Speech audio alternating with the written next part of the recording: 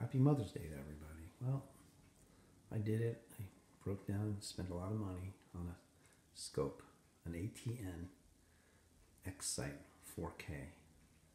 Um, more money than I ever thought I would spend on a scope, but um, doing really well with my business, and I have a lot of jobs lined up, so I figured I might as well spend the money.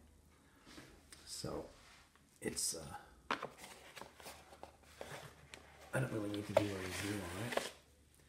Everybody knows this scope. Night vision, daytime vision, records, does everything.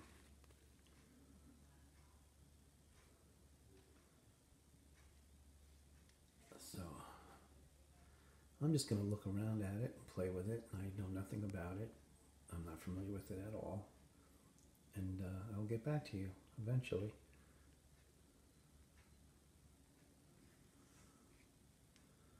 Looks really nice, not too heavy.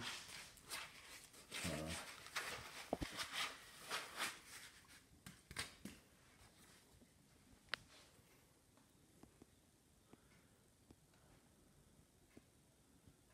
night vision, day vision, photographs, focus, some kind of focus here. Focus until the reticle is clear and sharp.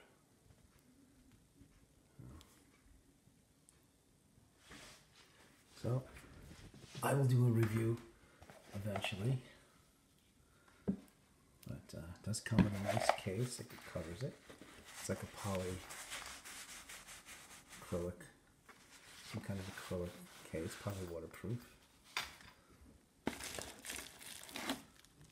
Come with rings.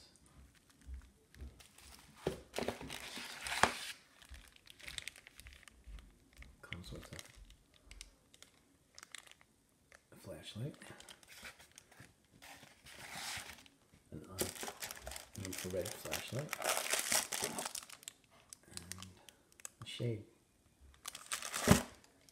So I will do a review eventually.